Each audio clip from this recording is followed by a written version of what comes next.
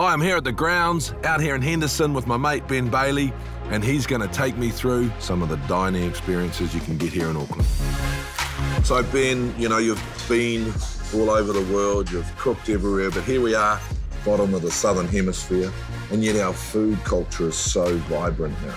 I think Auckland in, in, in, the last 10 years has just grown so much and we, we, can find everything here now. And so, yeah, we do have our great history of producing fresh food and great ingredients and combining that with knowledge from overseas and we're building our own kind of food scene here.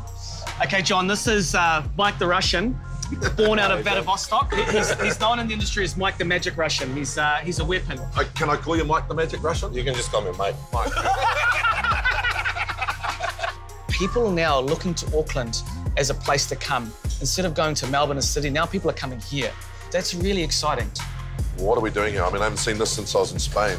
Well, this is from Spain, so this particular one is a three-year-old. So yeah, this comes on the squid dish. It comes with a squid dish. It comes with a squid, yeah. You are kidding me. No. That will be a first for me. So do you want to eat it? I'm going to eat it, yeah. Uh, yeah, I am definitely going to eat it. Get in there. Hey, squid's delicious, eh?